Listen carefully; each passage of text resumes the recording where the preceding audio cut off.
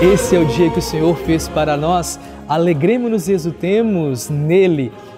Quero dizer a você, meu amigo, minha irmã, uma feliz e santa Páscoa. A você que é o nosso benfeitor, as crianças que são atendidas pelo Instituto Menino São Judas Tadeu, seus familiares, aos nossos funcionários, colaboradores, voluntários. A você uma feliz e santa Páscoa. Jesus ressuscitou, aleluia.